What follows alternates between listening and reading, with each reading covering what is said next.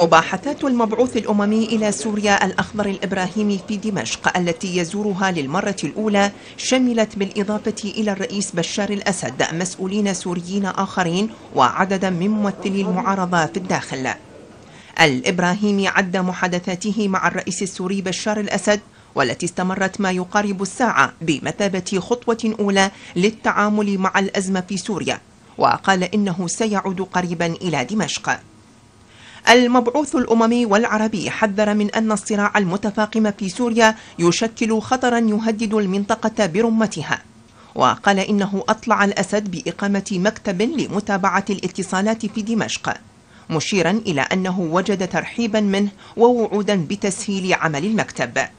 تكلمنا في هذه الأزمة السورية وأنا أكرر أن هذه أزمة خطيرة جداً. وأكرر أيضا أن هذه الأزمة آه، تتفاقم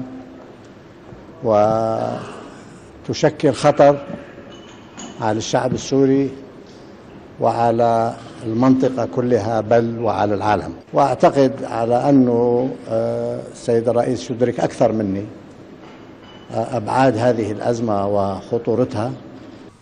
الإبراهيمي قال إن خطته ستكون جاهزة بعد الاستماع إلى كل الأطراف الداخلية والخارجية وذلك لفتح الطريق نحو الخلاص في سوريا.